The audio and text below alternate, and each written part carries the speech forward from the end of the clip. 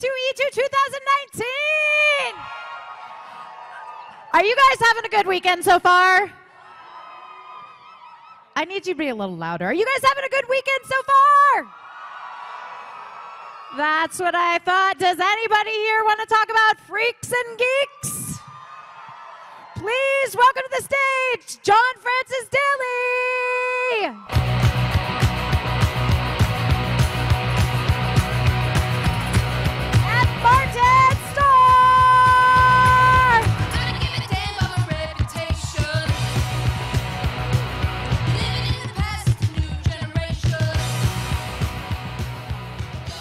Of all, welcome to Chicago, you guys.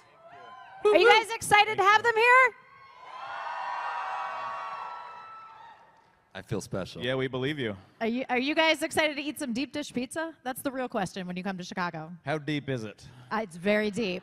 Okay. I'll give it a Martin is truly lactose intolerant. Yeah. So we were we had a whole plan to go to Lou Malnati's later, and it's We were gonna swim in cheese, he's just gonna have a corn crust with tomato sauce on it. It's real boring. right? That's cool, right? That's Chicago style.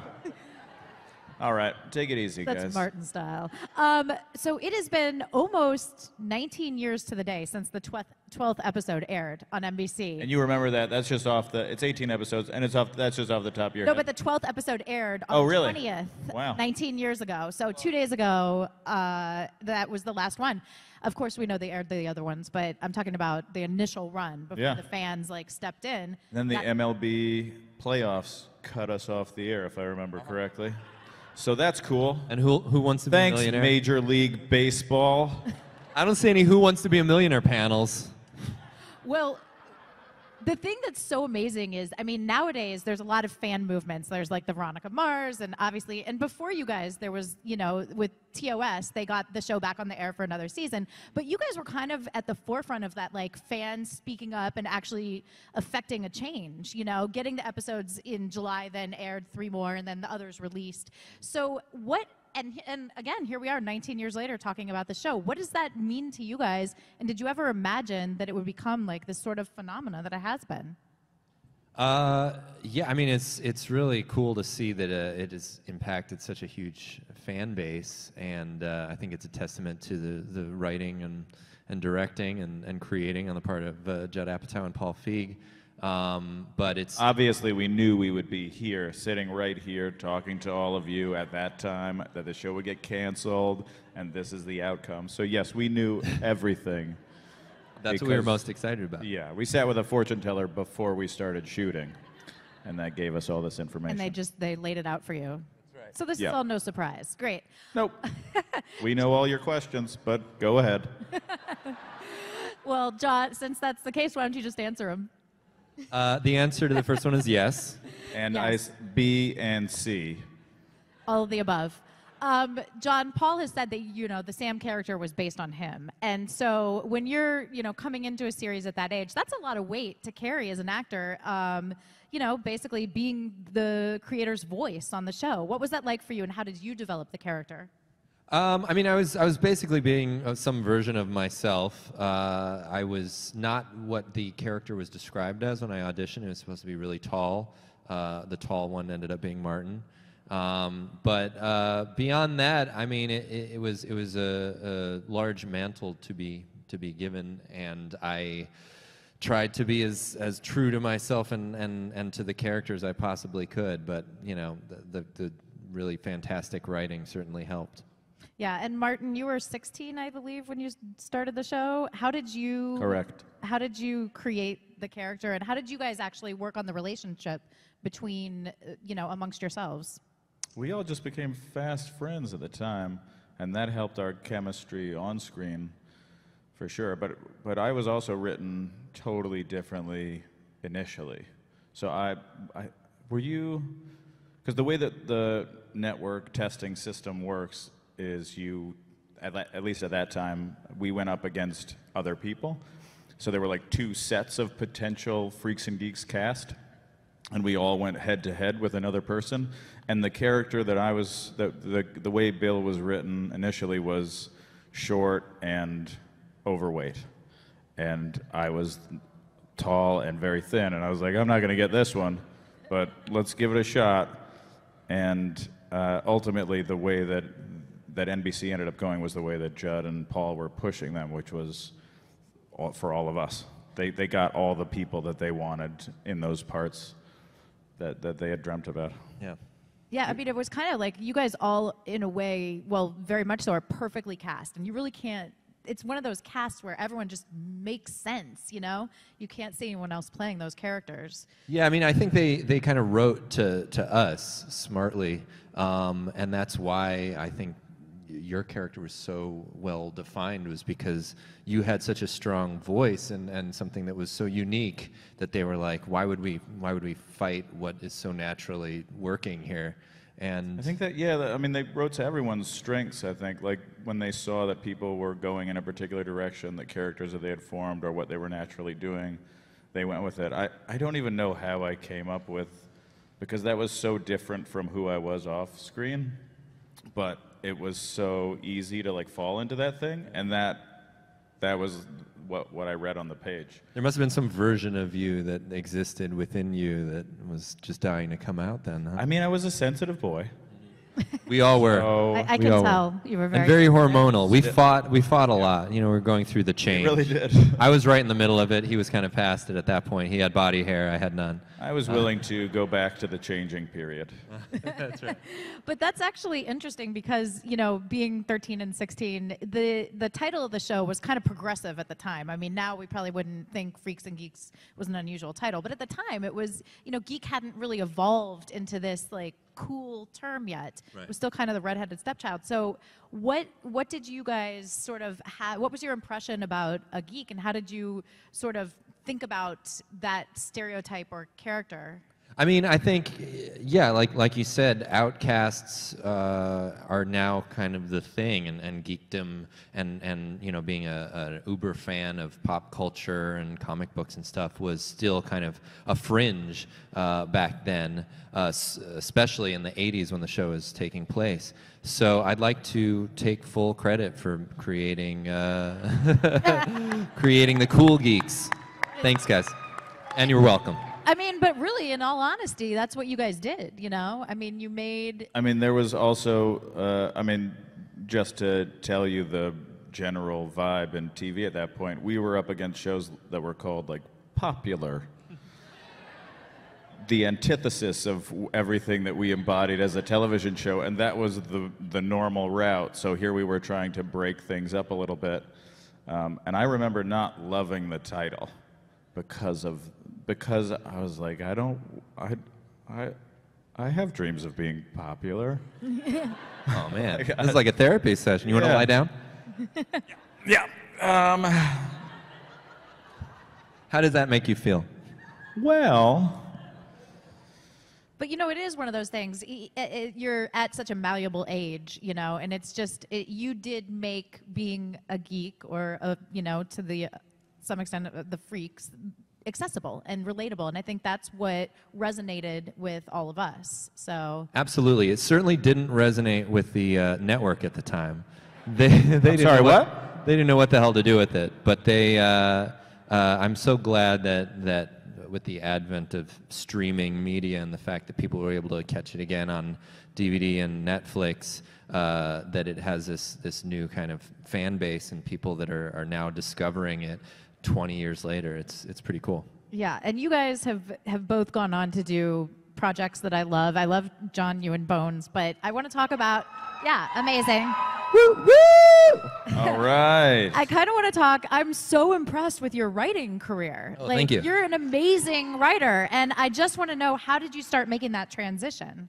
Well, it was something I'd always wanted to do. I wanted to write and direct uh, since I was a little kid. Um, but it, uh, as I've said, it's it's really hard to uh, get a directing job when you're seven years old.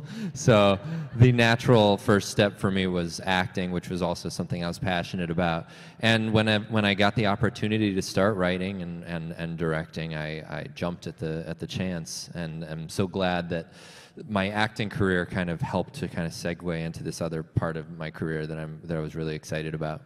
We, you mostly write with a partner. Yeah. Um, and what is that process like for you guys? How do you sort of riff ideas back and forth? And, and what's your working process? I uh, he he writes. I just get really drunk and say, "That's really good. That's really good." What about? Uh, no, never mind. I, I, I, I lost it. But uh, what you're doing is great. Uh, no, it's it's we generally write in the same room. Um, uh, we don't usually split up scenes. We're usually writing at the same time. What's great about having a writing partner is that you're able to create dialogue on the spot in a, in a kind of loose conversational manner. So it's almost like an improv session that ends up on the on the page.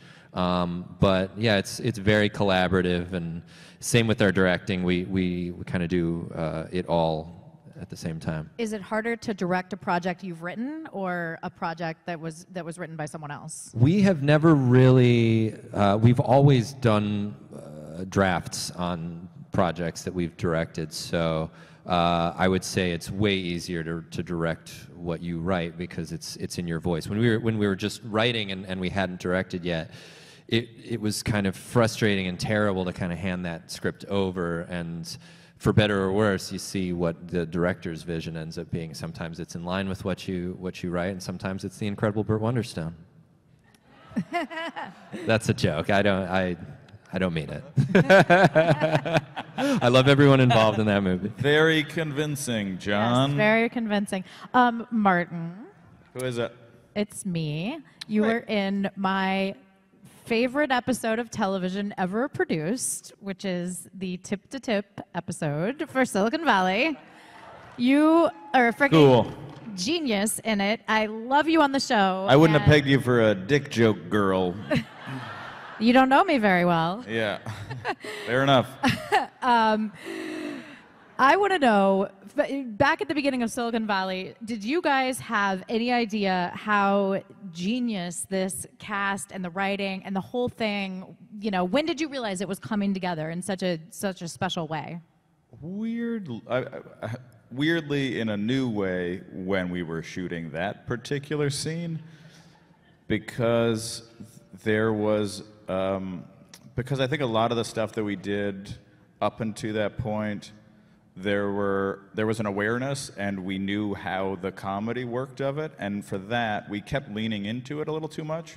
And at one point, Alec, who was directing that episode, came in and he said all of the jokes that you guys are making are funny, but the most important thing is that we take this entire mathematical equation very seriously. And then that changed, that shifted the way that we thought about not only the way that the show, like it made, it, it changed the way we thought about that scene and that joke and also the entire show, I think. Well, yeah, because the the the mathematical problem is the catalyst for And that's a real equation that guys at Stanford figured out. that's what I was Um, going to ask. So they're cool uh, that they did that. what, what was that phone call like to those guys at Stanford? Uh, I don't know. I wasn't on that one. Um, I'm a little bummed you didn't ask me about the tip to tip episode of Bones, though. yeah. mean, go What's your deal? I thought you knew about all the dick jokes. Well, you'll find out over the next 45 minutes, won't you? We're going to open it up to questions because that All is the right. right thing to do at this point. Um, and if you have a question, you can get in line. We'll get to as many people as we can. And while they're getting themselves organized, you know, everybody in here loves you guys, projects you've been a part of. They love Freaks and Geeks. What kind of, you know, shows are you guys watching? What do you geek out about? What are you passionate about? Music, literature, film? I am a huge fan of the show Succession on HBO. No one seems to fun. be talking about it nearly as much as they should. Uh, I love it. Uh, Martin, TV. I get into things late. Um, have you guys ever heard of The Simpsons? I love Lucy. Yeah. Uh, I Love Lucy. No one's um, ever heard of it. Uh, well, yeah, well, I've just started watching uh, the assassination of Giovanni Versace. It's I, I enjoy it. So that was from 2015. Um, That's good, but that's the beauty of like you know the streaming services now. Is like Yeah. you were saying with Freaks and Geeks, you can rediscover material that you may have missed the first time around. yeah, I really actually enjoy waiting. Like I just uh, uh, on our flight over, I was just listening to a podcast called Root of Evil, and it's super interesting. It's about the Black Dahlia murders, but it's there's two more episodes left. I don't like. I don't want to sit and wait after I've gotten to episode six for two more to come out. It's so nice to just wait until it's all out, and then you can binge it, Absolutely. and then purge it. Then I vomit it all up onto someone else. you take it to the next level. Yeah. I love that. Hi. Danielle from Chicago. Hi Danielle. Would you have an interest in doing a reboot of the series as so many series are doing these days? That's an interesting question. I don't know that it. I don't think that- so. I don't think anything could do it justice at this point. I, I don't. I don't know what the gain from it would be.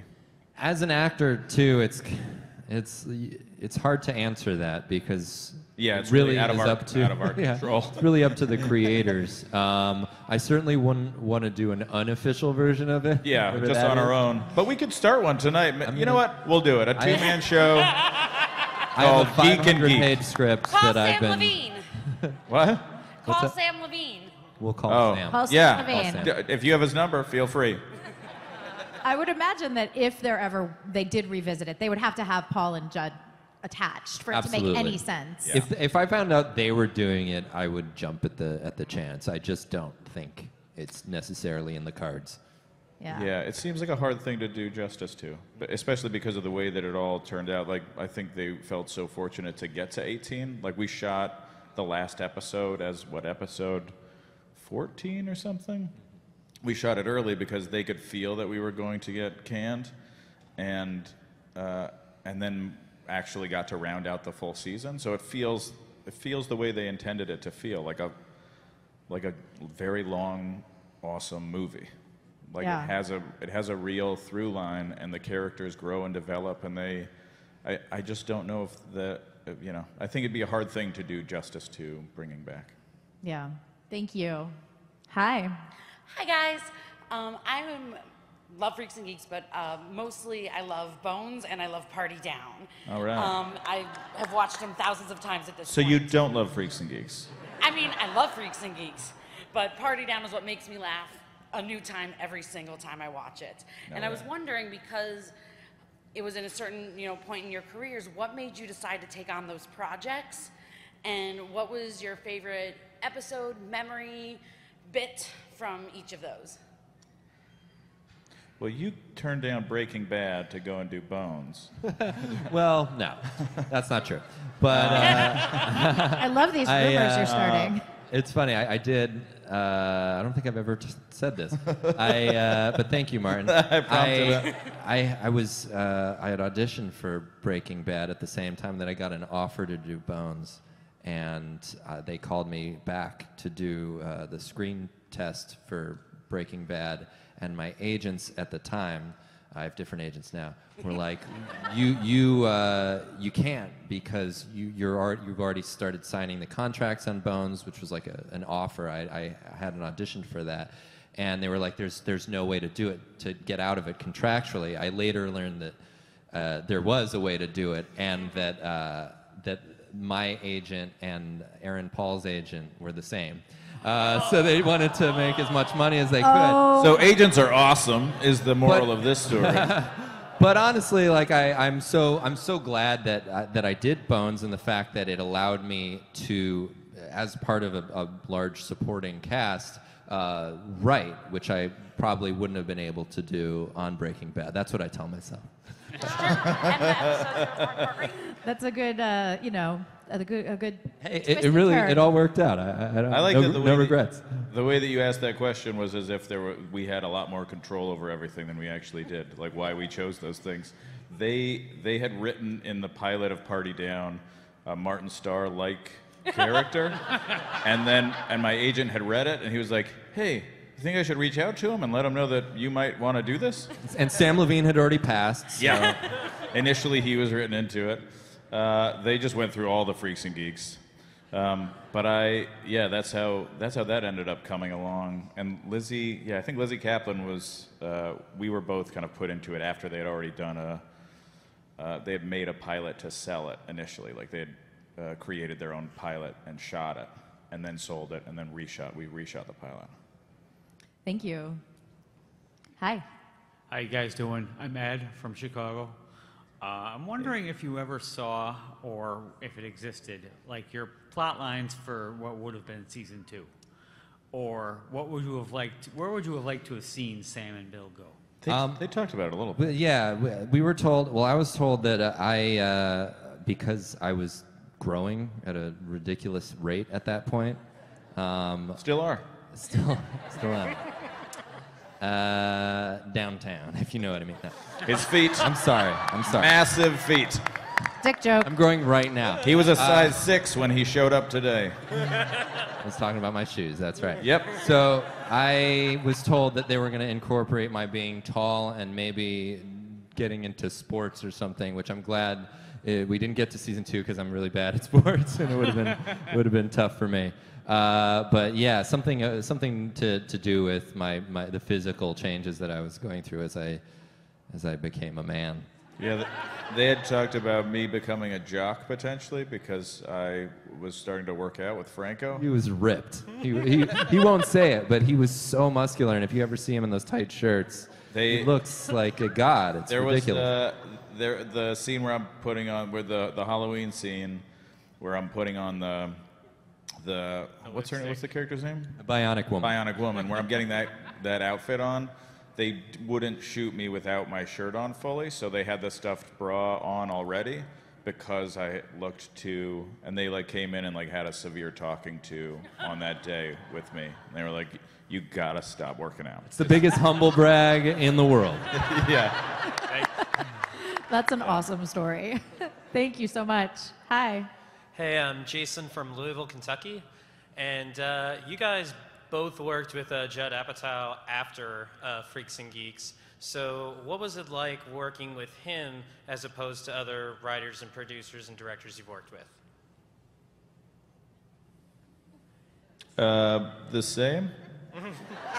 um, I've enjoyed working with. I- I've enjoyed working with him uh, every time that I've had the opportunity.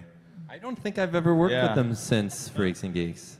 Yeah, I think that might have been the only time John did. I did. We we uh, we wrote something that he was going to produce for a while uh, that never happened because of the studio, but uh, ne- never anything that made it to, to screen since Freaks and Geeks. Thank you. Hi. Hi, uh, Sergio from the southeast side of Chicago. I was just um, nice, a local. I was just wondering, like, what are some of like your favorite scenes filming? Ever. Not Freaks and Geeks. For From Freaks today. and Geeks. Favorite Uh, scenes? For me, it was dancing in front of the mirror in the Parisian Night night suit. suit. Nice. Um, I was able to really let loose and show my moves to the world. yeah, not good at sports, but a great dancer. Dancing is the sport of love. All right, very cool. um, I, I, I remember us like the the fight scene in the pilot. that was really fun. Uh, where I, someone was on my back. I just remember it was like just mayhem in a really fun way, where we got to like be physical. Like there was a f- physical comedy bit of it all that was really fun to play with. Um, but the whole show was really great. I don't have any like bad memories that have stuck No. with me. Martin would constantly Torment other people. but torment me and make me laugh. Uh, and so it was always fun and also challenging to work with him because he would always try to make me laugh in scenes. And I, I would break very easily. Uh, working with uh, uh, Joe Flaherty was also Oh, yeah. similarly amazing, amazing. because the guy is so damn funny. If you guys haven't seen SCTV, I suggest you watch the DVDs or Blu-rays of Genius. that. Uh, but he was so funny in those dinner scenes, and I would always kind of just stuff my mouth with food so that I wouldn't be so obviously laughing at what he was doing. Thank you. That's a good point. I mean, you obviously both do a ton of comedy. Um, what is the, when you start losing it in a scene, what do you do? What's the tactic? If you can't eat, what, what, how do you? I, I, I asked if, to, to go back and, and do it again. I mean, they, what was great was there was such a looseness with the with the the crew and directors that you could you could go back and take a line again if you if you mess it up or if you laugh. Um, but I do recall there being one time that it, it became an, an actual issue on the pilot. And I was also nervous. I think it was our first shoot day uh, when uh, Mr. Mr. Comes up and is like uh, berating Alan for smashing my Twinkies. And he says, he's like very, he's got a very deep voice in that scene. He's like, Alan, uh, do you have anything better to do than smash Mr. Weir's Twinkies? Wow, it's still in my head. Uh, and uh, and Sam Levine uh, said to me, like, it's funny the way he says Alan. And so every time he would say Alan, I, I would just start laughing and laughing. And I think we went through 15 takes of that. And I was I was simultaneously laughing and also terrified that they were going to fire me. Hi. Hi, uh, David from. Well, I was born in New York. I currently live in Chicago. But when I went to school in New York, um, my school would constantly use Freaks and Geeks in health class to teach us. So just how do you What? guys? Yeah. Especially the episode tests and breasts, which I guess makes sense. So how do you guys feel that um, your show has been used and you know not only inspired fans but also inspired the American educational system to teach sex ed? How do you guys feel about that? I think it says a lot about the American educational system. I'm just glad that I was able to show kids my age that puberty will someday come uh, and to be patient. That's the name of the game. Thank you. Is that surprising to you guys to hear that, you know, the episodes were used in a health class somewhere? Yeah, I've never heard that one before. Definitely. Hi. Hi, hi guys. Hey, cheers. My name is Violet. Thank you. Um, born and raised in Chicago. So Nice. I just wanted to know. I'm an aspiring actress, and I just wanted to know what or who um, pushed you guys because you guys were so small in Freaks and Geeks. I And I, was- see you I now, and I'm pretty- like, I was a tall- Well, you were I mean, tall, six feet. yeah. I don't know. you guys were young. Were you watching We were the very young. right show? We're very young. Yeah, yeah, I know what you mean. But I'm like, who, who or what pushed you to be like, you know what, Hollywood or LA, everything is like dog eat dog. What, I don't know, what made you think that movies, directing, writing, acting, continuing forward was gonna be the right path for you guys individually? I guess how did you keep persistent? How did you? yeah, because yeah. it's hard You out were, here. you were pretty young, so I'd imagine your parents got it going, and then once you're out in LA, then you're like, oh, I've done a TV show yeah, now. I mean, I've I done, uh, my my uh, dad was a Broadway actor, so every weekend after school, I would go to New York, uh, the, the city, and um, and do my homework in the backstage uh, of whatever show he was on, and that kind of opened my eyes to the idea that acting isn't couldn't d- doesn't have to just be a dream and, and could actually be realized. Because I had always wanted to do it and I remember I, I told my folks uh, that I wanted an agent when I was when I was eight because I figured okay everyone has an agent that's Yeah. working so I guess that's the first step.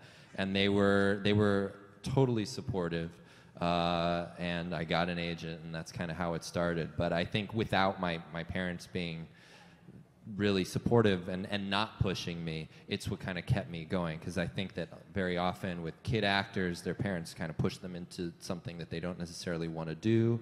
Uh, and so at a certain point, when they when they really have their own voice, they're like, I don't like this. This is this is not what I was what I was doing. Fortunately, I was the exception to that.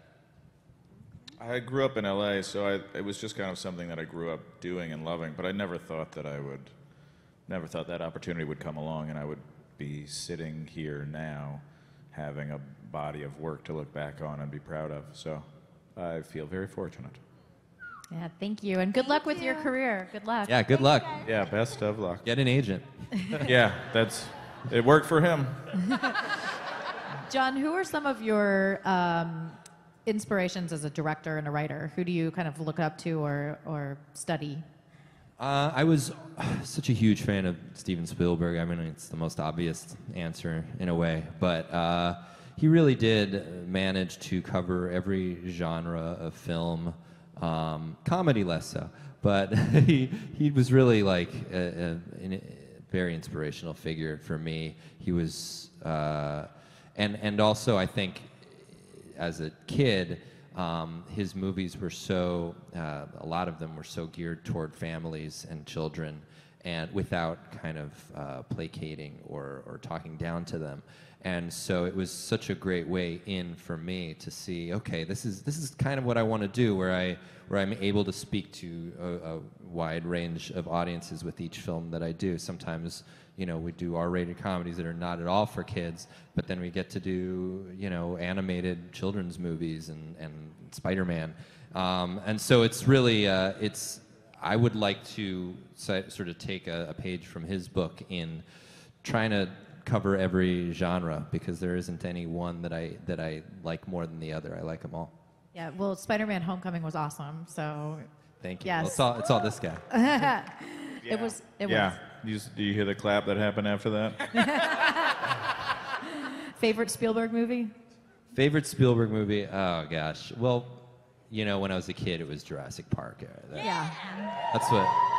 That's I. I remember uh, the first time I saw it. It really uh, it changed the way I saw movies, and it turned movies into more more than just a movie, but an actual experience and a, and a memory that I I still so clearly remember the first time I saw that film. Um, and uh, so yeah, that's probably it. That's awesome. Hi. Hi, uh, so I'm Max from Northside Chicago. Mario. Yes, Mario as well. Thank you. um, so going back to Spider-Man: Homecoming, you know, it's part of the MCU, you know, and that's such a big thing. Like that is a multi-billion-dollar like universe right now. Don't put pressure on him. Yeah, well, take it easy. Uh, I mean, like, you know, your character may have been snapped for all you know. Uh, what's it like to be a part of that universe? And John, what's it like to know that you've like written, that you've helped evolved characters in this like gigantic universe? It was super cool to be a part of it. Um, I hope that answers your question. Uh, it was super cool to be a part of it. All right. A Away with Mario. That's a dick No, answer. I uh, no, you know, it's a lot of responsibility.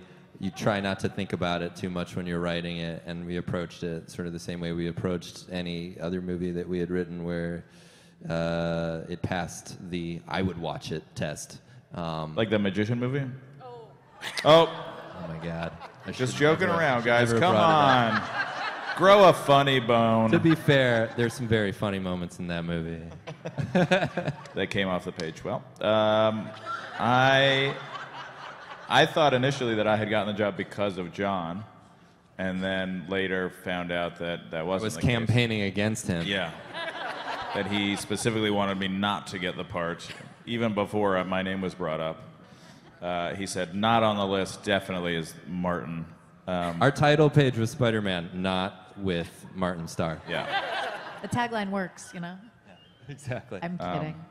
but it, it's very cool, and, and it is cool to see how their whole system works, because the, there's a reason why they are so successful as a company and, and as a production company, and uh, they're very specific about the way that they tell those stories, and it's very important to them to get them right.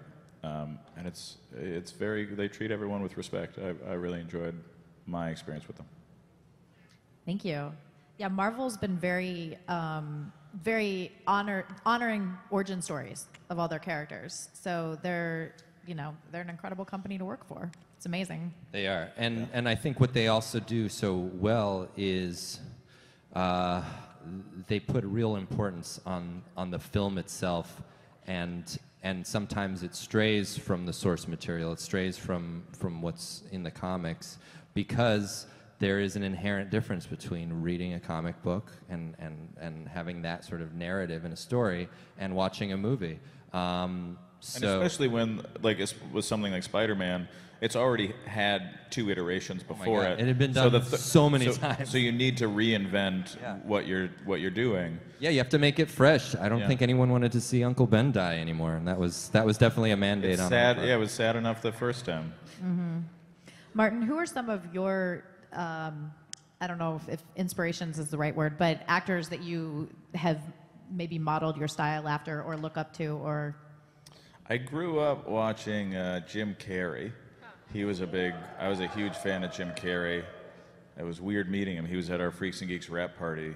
And, uh, Oh, that's Judd, awesome. Judd knows him obviously from Cable Man and, uh, or Cable Guy. And uh, the, they're going to do a remake, and it's called Cable Man. Um, but he was super nice, I remember, and, and having Ben Stiller on the show was very cool. I mean, I, I grew up really loving comedy, but then as I got older, people like Ed Norton and um, I don't know, uh, there's a lot of people that I'm huge fans of that I really enjoy watching. yeah. It's cool now that some of them I get to work with. Yeah. It's like uh, very cool. Yeah. Hi. Hi, uh, Cedric from Naperville. Uh, big fan. Where's guys. Naperville? Oh, it's uh, maybe 20 minutes southwest, or So no, 40 minutes. Not totally a local, but Yeah, you're in the area. Yeah. Okay. Um, big We- fan. Big fan of you guys. Thank you. Um, Thank you. This might be a tough question to answer on the spot, but Okay, then don't ask it. Okay. Thank you. Thank you. No, I was kidding.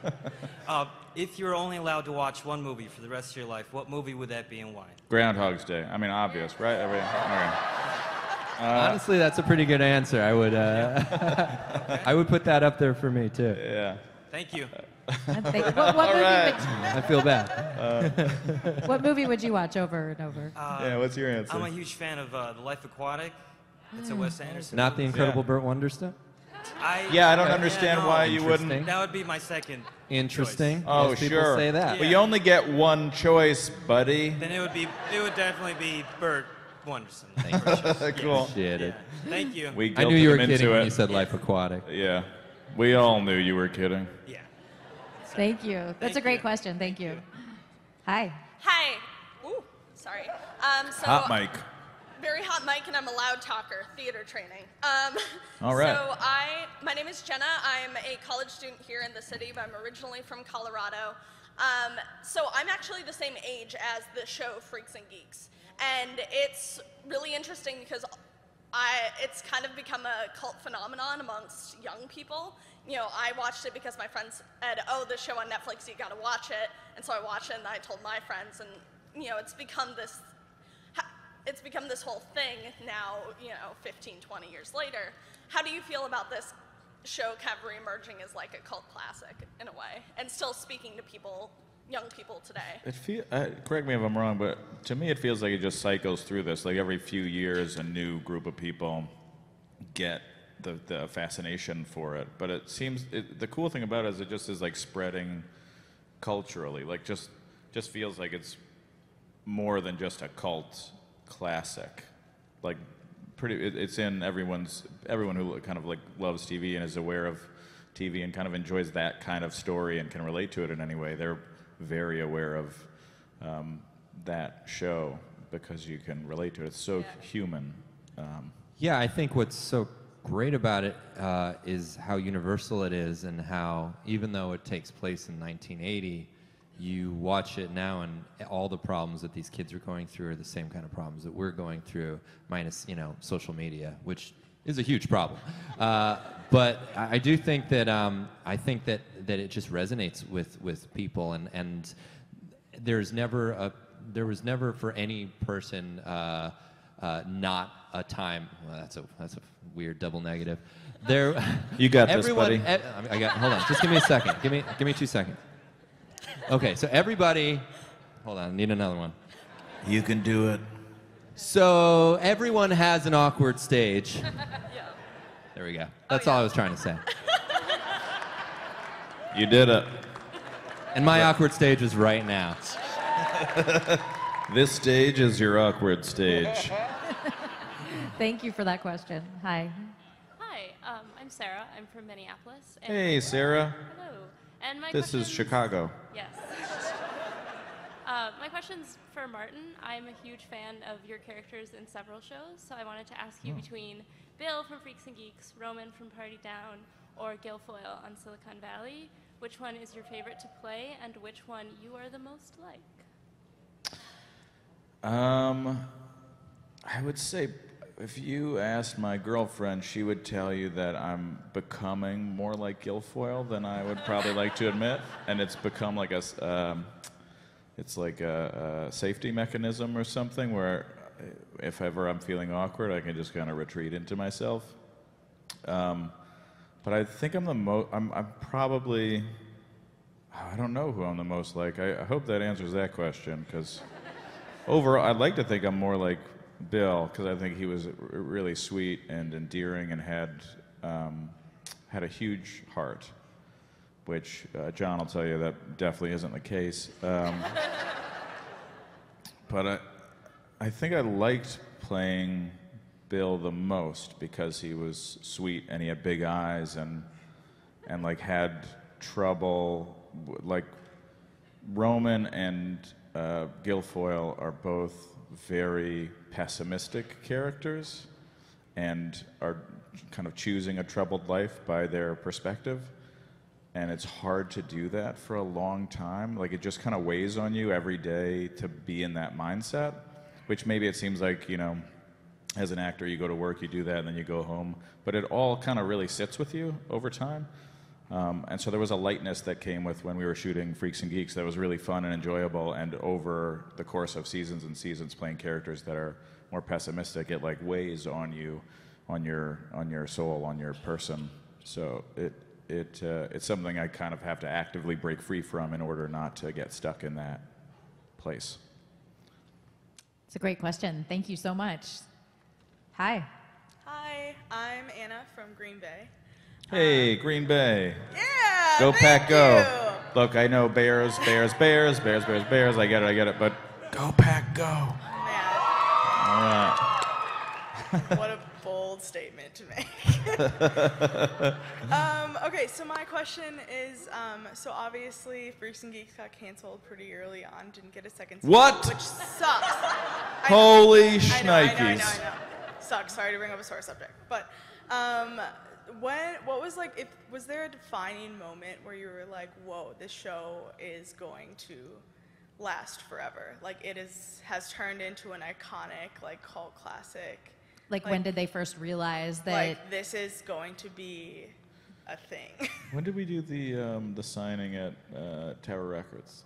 Oh, that was big. Yeah. Yeah, Oh, that's cool. We did a big signing where Judd and Paul really empowered the fans of the show at that point to come out and be a part of meeting us, and there being a signing and a big DVD release. That's right. And I think at that point I thought that there was more, like I thought it had just kind of faded away, but at that point I realized, oh, there's there is still like a big group of people who this really meant a lot to and that's a that's a powerful feeling to have done anything in your life that people respond to in such a passionate way. Yeah, I mean, as far as the cultural impact, I would say it was it was talking to people that had seen it and, and, and say how you know huge it was for them and, and how it kind of helped to shape their lives. Uh, for me, just when I saw the pilot, I remembered thinking for the first time I, was, I, I thought this is this is unlike anything I've ever seen on TV. Uh, feels like a movie. I did not know if it was going to be a hit, which it wasn't at the time. Not to brag. hey, ladies. Uh, but it was uh, it was a it was a really like powerful moment for me because when you're shooting something, you you get the sense that it's going to turn out great, but you don't you don't know for sure because uh, so much of it is in the post production and editing and music and all that. And so after having it seen it all cut together, it was uh, it was it was a big moment for for me, definitely. Yeah, thank you. Martin, you kind of mentioned that they were rushing filming like episode 14 because it was kind of the tonality was we know we're going to get canceled and and do you think that's why the 18 episodes kind of play like a long feature because they were able to wrap it all up? They, I, I think we knew. So like the, the way, if I if I remember correctly, uh, the, the way that they order episodes were usually in chunks, and you would get an order for the back nine, which was the last nine episodes of a season usually, and um, and we, I think, had done twelve episodes, and then they started ordering more, but they'd order like two at a time. So we we didn't know week to week what week we were gonna not get an order for more episodes, and that put it pretty heavy on their shoulders and on their on their conscience to try and get it done. Like they didn't want this to end as an abrupt season ending. They wanted to have some finality to the storyline, and so they wrote. They had the trajectory of the whole season, and they wrote the final episode earlier on than they had anticipated, so that at the very least you would watch 12 episodes or 13 episodes, and then get an, an episode that was wrapping it up to some degree. Yeah. I think also the fact that they wrote an, an ending early on uh, allowed them to really push the envelope with the kind of material that they were writing for subsequent episodes. Um, it was almost like they were trolling the network because every episode was something new where the network was like, "We can't. What are you guys doing? We can't do that. We're trying to trying to get people to watch it." And they also wanted specific things like a pregnancy episode and a this and a that that were like traditional tropes of and they television. always shut it down. Yeah. I mean, I And remember the, the the episode when um, uh, Seth Rogen's character is dating a girl that was born with both genitalia. It was like it, no one had ever done that before, and it wasn't it wasn't like a, a joke either. It was it was like It was handled with care Forced and- him yeah. to kind of. Uh, to question his own sexuality, and the network was like, "Guys, what are you doing? This is It's like way too crazy." heavy a topic for them to. But I'm take so on. glad they were able to do stuff like that because you never see other uh, other shows that tackle episodes that are so honest and weird. Well, especially with Yeah. a pretty young cast. You know what I mean? So. Yeah. Yeah, it was. Yeah. No that definitely kidding. I inspired a lot of 14 when I read it. conversation behind the scenes. Hi. Hi, I'm Paul. I'm from the suburbs of Chicago. I'm a little bit further out than Naperville, which you guys are now Nice, a with. rich kid. Uh, we get it. So the last person legit just asked the question that I was going to, and I was so paranoid about that happening, I have a backup question. You are So- well prepared. I know. So, being in a room full of aspiring writers and artists and actors, I was wondering if you could talk about what it feels like to put yourself out there and have some things hit, but then also have some things miss, and what it takes to find the strength to get out there and try again. It's a good life lesson for sure to like believe in something and then watch it fail. um, but I like it's just in a much on a much bigger scale the normal lessons I think of life of trying new things and experimenting a bit. I mean, right after Freaks and Geeks, I did a movie called Cheats that came and uh, immediately went, and it was. Uh, I thought it was. I was like, great, I'm doing a movie. Every movie is in theaters and has some success, and this will be a big, cool movie. And you've never heard of it, and there's a reason why, uh, because some, you know, some of the politics ended up destroying that movie from the inside, and so it just didn't end up coming out at all in theaters. But that was a huge lesson for me to to really uh, temper my expectations, because you get too big, like you, when you expect too much of a system that you can't really control. All you can do is give your give everything to what you're doing, writing, directing, acting, uh, producing, everything that you can put into it. Make sure that you're doing everything you can, and then you just kind of pushed and hope everybody else is doing their job to make sure that this thing sees the light of day and that that people respond the way that you hope they do. Yeah, I would say to add to that that failure is one of the most important parts of this business, in that it uh, is not final unless you make it final. Um, you can you can quit at, on, on the heels of, of a failure, but just know that everybody fails. And for everything that you write or direct or act in that people love, there's something that people don't love. And you have to just constantly keep going if, if that's what you want to do. Because if you don't fail, uh, odds are you're not working or, or uh, you haven't like been driven even more by that failure to continue to succeed and keep plugging away. Even the people that seem like they are on cloud nine always have something going on in their work. Like us. People love everything.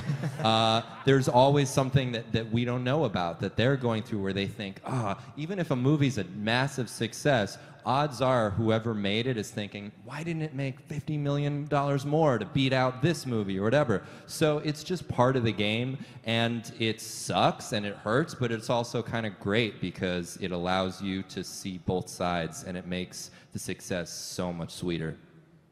Thank you. Thank you. Yeah. Good job on that backup question. And those failures help you really appreciate what you do have. As a side note. Isn't it kind of interesting how sometimes as an artist you'll go into a project like you were saying that film and you'll think this is going to be really great and then sometimes you'll approach a project and be like yeah maybe and oftentimes it's the opposite of what you initially think. Have you Yeah. found that to be true? Oh, totally. Yeah, it's never what you expect it to be. And then you just learn not to have expectations and you just put a lot of love into everything you do and hope it turns out great. When we worked on game night, we were convinced. That film is Thank so you. good. Oh, thank so you. good. Uh, but we didn't know that people would clap or say that. Uh, when we when we made it, we thought, okay, odds are everyone's going to hate this. and for I, I don't know why. I think it was because we'd been burned in the past. Uh, and we also um, it was we were attempting to do something a little different in terms of really crossing genres where we, we paid a lot of attention on the thriller component of the movie as much as the comedy. And and that was a risk and something that we were very reluctantly willing to take. But at the same time like we were fully prepared for no one to see it and for everyone to hate it and that's kind of a it's kind of a comfortable way going into things because then nothing can really hurt you And we're hosting a game night tonight where we're going to be the killers. Everyone's welcome. Hi. Hi, um, I'm Christina from Rockford. Illinois. Hello. Yeah. Nice. Or uh, boo. Wait. I think Mixed you've, you've, feelings. you've got. Where, where's Rockford? Um, it's about it's closer to the Wisconsin border, so like like. below You're a your- Wisconsin. yelling over you. I don't know what the deal is with Rockford. You like but- cheddar cheese? No, I'm lactose intolerant. Oh man. Samesies. Enjoy a corn crust with tomato sauce. Yeah. I'll see you at the Chicago deep dish uh, tomato factory. Oh yeah. Um, my question is, since um, you're both really young actors during the Freaks and Geeks, and you guys were also going through your adolescent stage and your hormones, I was wondering, see, since Okay. What are you getting in? What are you getting into here? That's true. That's true. um, I was wondering, since uh, if you, since you were going through that stage, if you learned anything during like any, like your characters or any other characters, and used that in your personal lives and learned from it. That's a really good question. I'm Yeah. thinking. Yeah. Um, I'm still awkward around women, so I didn't learn that. Um, let me think for a second, because I want to give an honest answer to this. I was very sensitive when I was uh, shooting Freaks and Geeks. I contribute some of that. I attribute some of that to hor- hormones, but also to being an actor, and we're all weird. Uh, but uh, I think that doing that show and having gone through kind of a roller coaster of emotions, because there was a lot going on behind the scenes. Like we were, we had like crushes on cast members and stuff, and there was a lot of feuding and competition between all of us. Oh yeah. Uh, very much like you would see in, in high school, because that's kind of what our high school experience was. And I think it allowed me to uh, gain more perspective and kind of have a little bit more control of my emotions, uh, which has helped me because otherwise I'd be sobbing right now. For no apparent reason. No, I, uncontrollably. You just say a word and I start crying. Rockford. Thank you for that. Thank, Thank you. you. Yeah. Hi. Hey, my name is Daniela. I'm from here, but I live in DC. Um, Martin, Okay. Yeah, it's all right. Um, Okay. Hey, Martin Starr. Hi. Hi, how are you? Really good. Thanks. Wonder Woman. That's their costume currently. Thank you. Nice. So uh, one of the cool things about Freaks and Geeks is that there are a lot of names that got really big later on that show. I'm wondering if you guys Heard about them. Yeah, a couple, maybe. Yeah. I mean, mostly you, obviously. Um, but I'm wondering if you guys stay in touch and what that's like when you all get back together. It is like one of those shows where everyone's working. Like literally everyone from the show is really successful at what they're doing. Pretty much everybody. Just about, yeah. Yeah. Um, it's really cool that way. Martin, stop. Uh, uh, yeah, it's weird. There's something in the, the craft service there that. Well, it just shows that, you know, Jen- Cocaine. No, I'm kidding. Any kids? that isn't a thing. Um, I mean, it shows that Judd had like a very good sensibility of who he was casting, you know, because Absolutely. yeah. They, I think they saw something in each of us that probably a lot of casting directors hadn't seen yet because Yeah. we were all strange. Um, and perhaps something we didn't see in ourselves. Like I feel like that- Certainly. that, show gave me a lot of confidence to keep doing it. I wouldn't be an actor now if I hadn't had that experience and someone like like a, a specific experience like that where they were so nurturing and they really made me feel comfortable in an environment that I had no I would have had no comfort being in with no experience, etc. But they really gave everyone uh, they empowered everyone in what they were doing. Um, I think we need to have Busy host a reunion on her show, Busy tonight. That would be like the best. She's a good host. You get She's get all you guys on there and, Born and host. She's hosting a show now. Um, well, yeah, I guess we I, we we kind of keep in touch with probably the same people we were we were friends with. Like I think some, just like any you know, group of kids that that uh, graduated together from a TV show. There's Um, some, there's some estranged family members. Yeah, we, but we're all still connected. I, I, you know, we some some you see more than others, but you know, I still see Seth every once in a while, and Linda, and I see Sarah Hagan now more consistently. We've kind of become friends again. And John She has and a I- baby, Sarah Hagan. Yeah, she has a kid, um, and she's an amazing. You can buy her pottery. She makes absolutely effing amazing pottery. That's awesome. She's an incredible artist. Um, but yeah, I think John and I are probably the closest. Like I see you the most out of It's the everybody. longest lasting Yeah. friendship, I think, between all the freaks and geeks, I would say. Yeah, we get together pretty regularly too. It's true, isn't Dinner it? and stuff. Think yeah. about it. Like Yeah. everyone has kind of gone their, their we've all- separate yeah. ways over time. Um, but like every family, you know, it's it's a weird ebb and flow of hanging out with you. I was 14, so I was younger than everyone else on the show. But I felt so even it took a then- while for me to like get into the fold and grow a goatee. Once once I was able to grow this goatee, I got That's some calls. Most Thank of them you. were shave off the goatee. Sorry, I called you so much about that. Yeah. Thank you, and you look great, by the way. And we're going to take one last quick question from you, and, and then unfortunately, that's all we have time for. Hi. Hi, I'm Stacy from Madison, Wisconsin. Nice. My dad's um, from Sheboygan, Wisconsin. I'm familiar. Um, I was wondering, in Busy Phillips' book, she wrote about, and this is going to be kind of a downer. Oh she- boy! Great way to end. Yeah. Uh, are you sure we can take one more question? Maybe two more. She wrote about um, basically how horrible James Franco was and how he was very misogynistic. Um, I'm wondering if you guys, being on the younger, you know, side of the cast, were kind of aware of it, or Well, you know what? I think that we'll we'll kind of I leave mean, we, that. honestly, one. we weren't there for any It's of an that. easy answer for me. I wasn't there Yeah. for for any of that. Those weren't things that we were aware of. we of. were on the geek side. Yeah, and and you know, I mean, everybody obviously has different perspectives of working with different people. So that's one person's perspective. But from everything I've heard, you guys all got along really, really well, and it shows on camera. That's will- why the show is still successful. I do appreciate the courage that it took to ask that question, though. And you should and- take up journalism. I mean it. I and I read some of the book as well, and in particular that part of it. And and I will say that there is a she, the way she kind of infers that there was like a boys' club of of the show uh, uh, that didn't necessarily support You're her. so as well. nervous right now. But but but all of but all of our experiences were really in support of uh, making sure everyone was comfortable. So I, I don't I wasn't there for any of those things, but all of my experiences were Paul and Judd and all of the producers and all of the writers going above and beyond to make sure that everybody in every experience was comfortable. So Ditto. so uh, I will speak to that and and in and, uh, to their characters. I think they're they were phenomenal in the way that they handled us. Us all, a lot of us being minors. Absolutely. Thank you so much. And did you guys have a good time this hour? You guys are awesome. You guys are here all weekend, right? What's that? You here all weekend? Wait, it's the weekend. It is.